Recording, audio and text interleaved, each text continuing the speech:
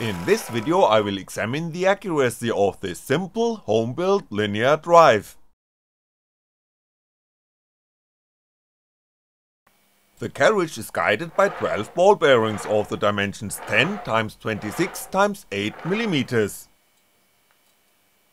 The rotational movement of the electric motor is transformed into linear movement through a 6mm threaded rod. With the screw being heated up by a gas torch, a 6mm thread is formed at two stripes of plastics with the dimensions 20 x 60 x 4mm.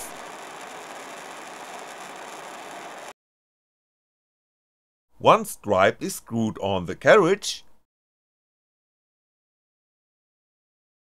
while the second stripe is used to clamp the threaded rod tighten the construction in such a way that there is no noticeable axial tolerance while you are still able to turn the threaded rod by hand. Normal ball bearings have axial backlash. That's why I'm using two ball bearings press fitted to a square tube to link the threaded rod with the mechanics. The more pre-stress is applied to the ball bearings with the nuts, the lower the backlash. On the other hand, with increasing pre-stress, friction is increasing too, normal ball bearings are not made to hand axial forces. Angular contact ball bearings would be the better choice, but the mantra of this construction is to use commonly available parts. The larger the ball bearings, the better they will cope with the axial forces over time, which is why I'm using devices with 10mm inner and 29mm outer diameter.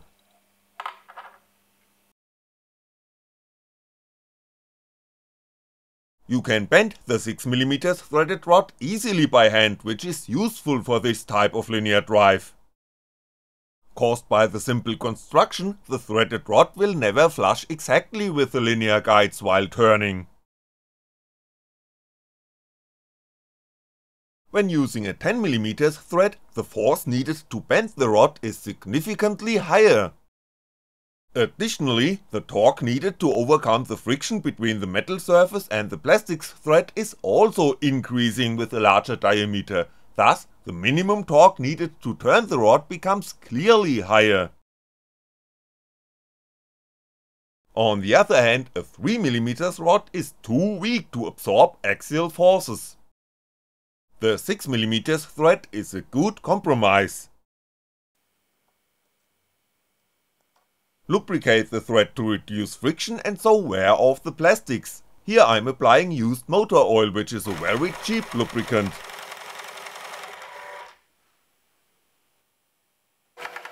The second end of the threaded rod is the free end. With no guidance, this end starts vibrating whenever the rod turns with high speeds. A simple ball bearing prevents that end from vibrating while axial movement is not limited.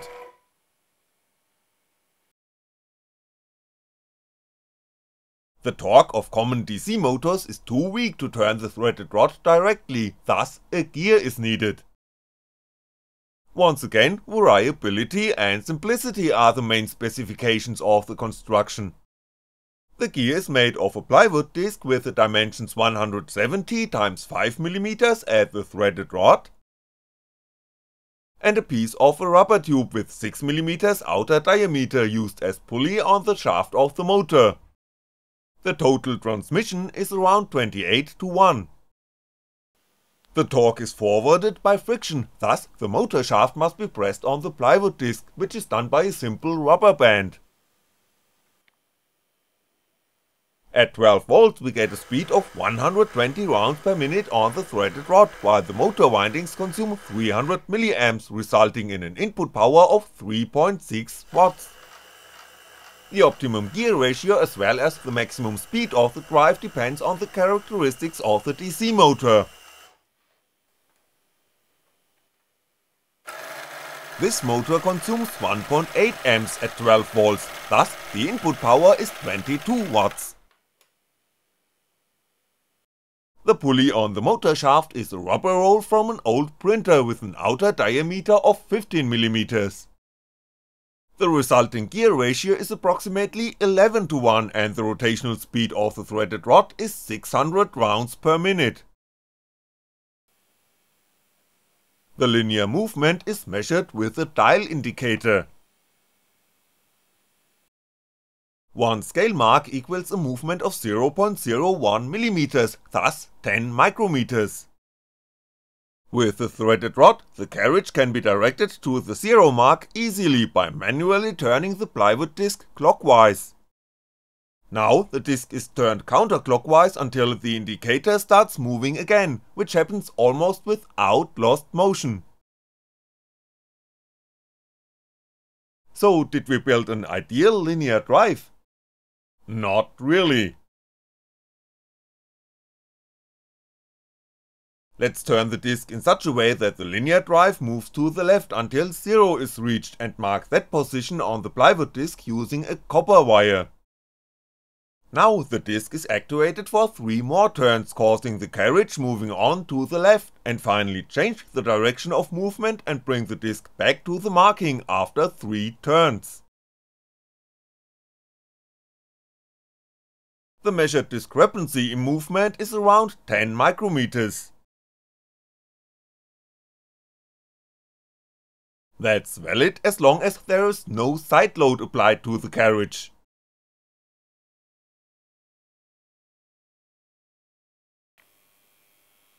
With this home-built spring scale we can measure force. If a force of approximately 35 newtons acts on the spring inside the gauge, it is stretched to the marking.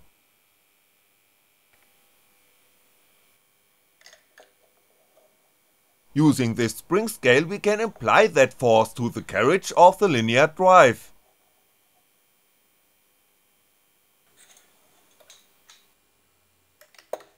The carriage is pulled to the right and released, and pulled to the left and released by what we can read a deflection of 40 micrometers under maximum load and less than 10 micrometers after releasing the carriage.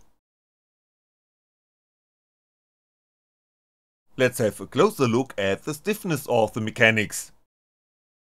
By pushing on the base plate I can deflect the carriage for 20 micrometers. Bending the threaded rod causes a deflection of 50 micrometers, but consider that in praxis the rod should never bend that much while turning. When pulling the fastening point of the ball bearings we get a deflection of around 5 micrometers.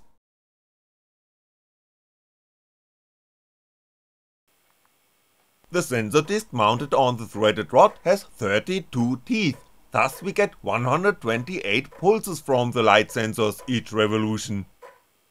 In theory the Arduino moves the carriage for 7.8 micrometers with each step,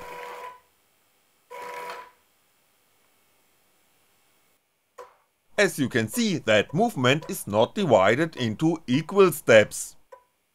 There is a variation ranging from less than 5 micrometers up to more than 10 micrometers. You can also notice overshooting. The indicator sometimes oscillates considerably before settling on a point.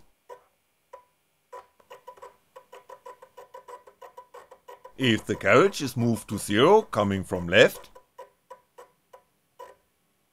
moved another 32mm to the right,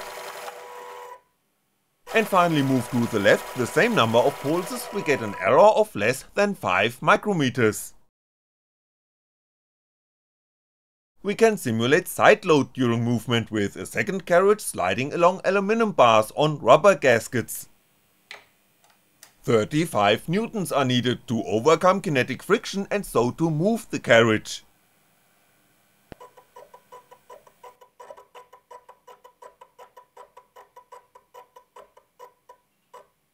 If the carriage is moved again under side load with changing direction we get an error of 35 micrometers, which equals approximately 5 pulses on the sensor disk.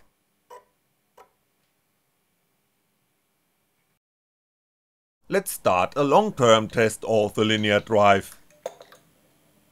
First, the deviation under side load is measured using the spring scale.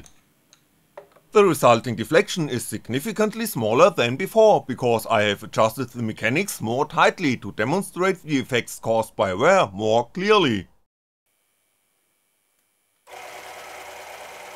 During a time period of 80 minutes, the carriage is moved 100 times for 22cm to the right and the same number of pulses back to the left.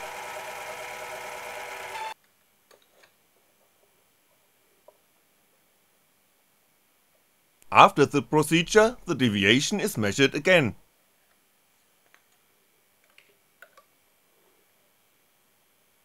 Now we get approximately 30 micrometers when the carriage is released. The wear on the plastics thread is the main reason for the significant decrease in accuracy. So let's modify the mount of the plastic stripes slightly. Now Four rubber gaskets are used to press the second half of the plastics thread on the rod.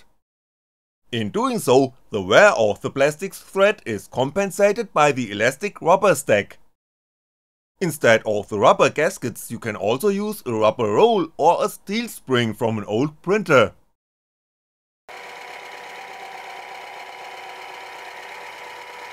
Once more the carriage is driven 100 times for 22cm to the right and back to the left.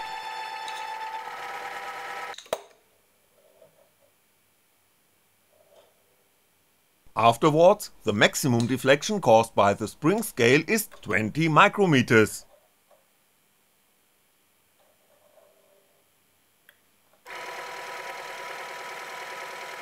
After another 300 runs we get a total movement of almost 1.8 km in 320 minutes with a 35 newtons side load.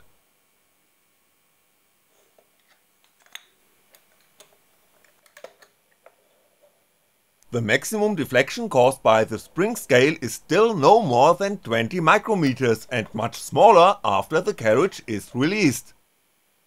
The wear on the plastics thread is almost perfectly compensated by the modified mount.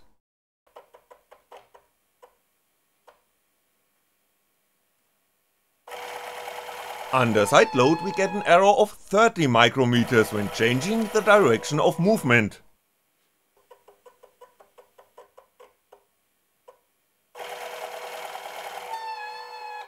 Without the load carriage we get just 5 micrometers.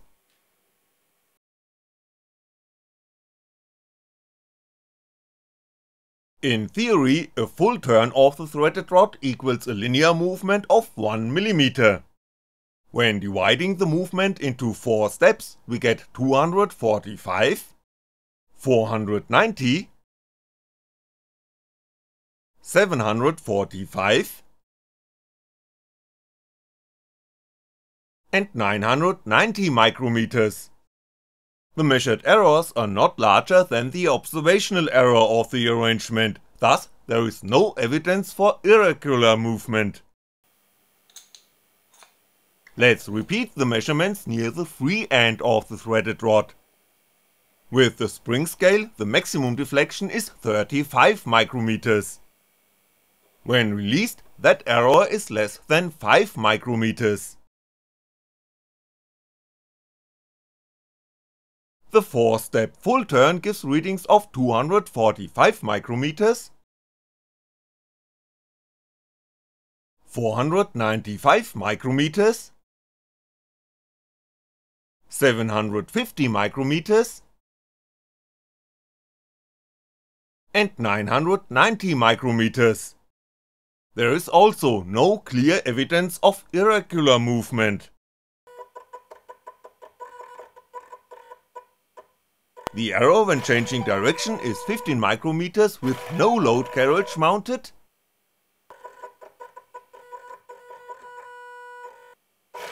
and 45 micrometers with the simulated side load. Obviously the 6mm threaded rod bends more at a length of 25cm than near to the fixed end, but the additional error is no more than 15 micrometers. The gear has also passed the long run, the surface of the rubber roll is just slightly worn.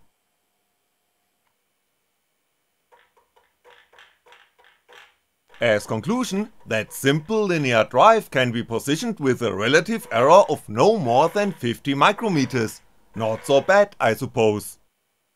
With a more robust mechanics, the result should become better. In another video I will demonstrate the weak points of a CNC chassis. Thanks for watching and I'll be back